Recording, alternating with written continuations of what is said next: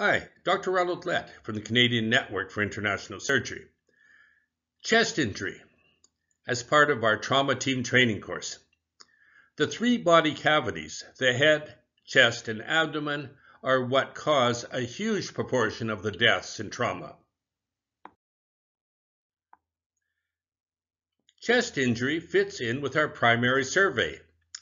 It is involved with B, breathing. So when we get to breathing, and we're looking at respiratory rate and effort, we need to consider chest injury. Chest injury is common. It can be life-threatening. However, 90% of blunt chest injury trauma does not require open surgery. 80% of penetrating chest trauma does not require open surgery. Basic procedures can save lives. Oxygen Fluid resuscitation and chest tube is all you need. Referral will be required only for the minority. Many chest injuries are not initially life-threatening, but will become so if ignored. Simple pneumothorax is frequently seen. It only requires a chest tube. But unfortunately, in many cases, patients arrive to an African emergency department, the diagnosis is not made, and they will go on to die when a simple insertion of a chest tube would be sufficient. Pulmonary contusion. The patient develops progressive respiratory distress.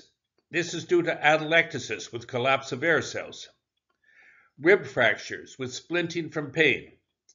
Atelectasis results from the patient not moving that part of the lung it requires analgesic, elastic band strapping, and perhaps some supplemental oxygen. More serious. Open pneumothorax. There is an open wound. The lung is prevented from aerating because of this. So immediately you must close that wound with a thick gauze uh, reinforced with petroleum jelly and then insert a chest tube. This is necessary. Flail chest. When you have multiple rib fractures or cartilage fractures, they produce an unstable segment of the chest. It leads to paradoxical movement. That means when the patient inspires, the chest goes inwards. Oxygen is required. Often they will require assisted ventilation. This will be implemented in the case of respiratory distress. The reason for this need for ventilation is the problem of flail chest is associated with underlying lung contusion, which can markedly exaggerate the hypoxia. Increasing hemothorax causes progressive collapse of the lung, decreased aeration, and is treated by chest tube. Massive hemothorax. You insert your chest tube.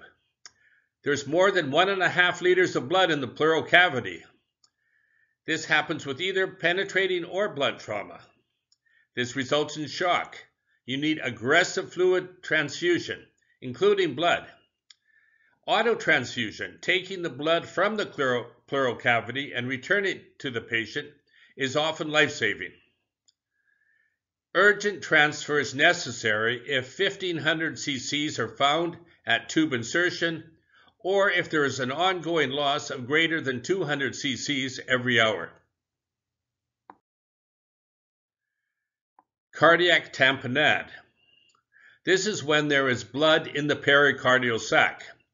The signs of tamponade include anxiety, hypotension, fainting, discomfort relieved by sitting up and leaning forward distended neck veins. It's treated by pericardiocentesis. The pericardial sac is quite small. Aspiration of even 15 or 20 cc's of fluid can save life. Patients responding to successful pericardiocentesis need transfer for thoracotomy or pericardial window. Immediate death will occur with rupture, aorta, diaphragmatic rupture, esophageal injury, and myocardial damage. So, key points on chest injury. There are many serious injuries in trauma associated with chest injury, but most of these can be successfully treated with airway management, careful assessment, chest tube insertion, volume replacement, and intubation and ventilation. This concludes our lecture on chest injury. So just remember, resuscitation of the patient and one simple procedure, chest tube, will take care of 80 to 90% of chest injuries.